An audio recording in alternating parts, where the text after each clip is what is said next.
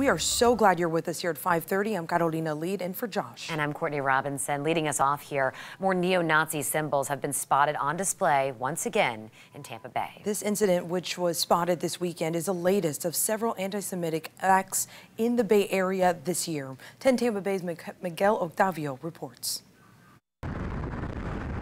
Just days ago, and we were all like a little shocked. Rachael Finn scrambled to call authorities after what she saw. And luckily, the sheriff's office responded immediately.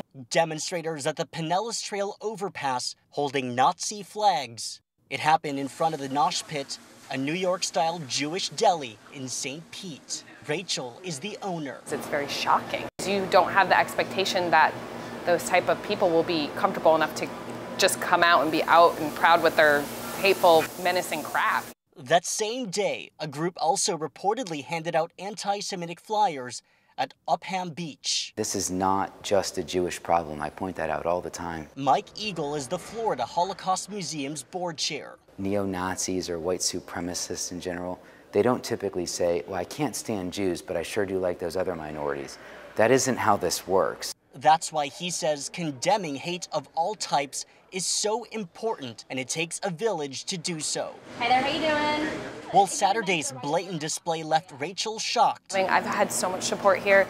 So did the reaction from those who heard her story. And I think really think that we can come together and show these few couple bad seeds that they don't belong here in St. Pete. Rachael's hoping more people will stand up against what's wrong the next time it happens. Miguel Octavio, 10 Tampa Bay.